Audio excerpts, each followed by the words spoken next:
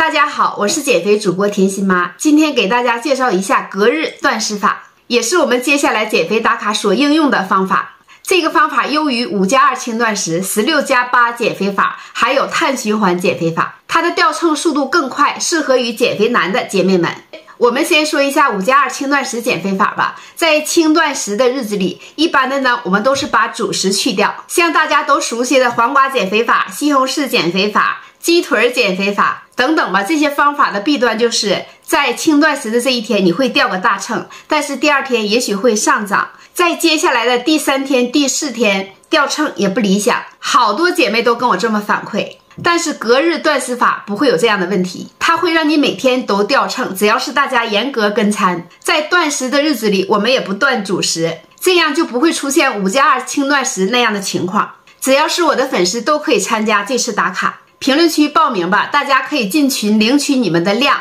因为一百八十斤和一百二十斤吃的量肯定是不一样的。同时，希望大家每天在评论区减肥打卡，可以发些照片，还可以把每天的掉秤成绩发在评论区里。隔日断食法可以让你快速的达到理想的体重，在夏天来临之前瘦下来。一百零二斤的体重，我已经保持五年没有反弹了。今年呢，我打算上九十斤的世界里去转一转去，所以我也在减肥打卡。但是我不会按照六点钟发的视频的食谱来吃，我要尝试一些新的减肥方法和减肥方案，痛苦少、好坚持的方法。等到方法成熟，为以后我带大家减肥打卡打下具有实战经验的食谱和方法吧。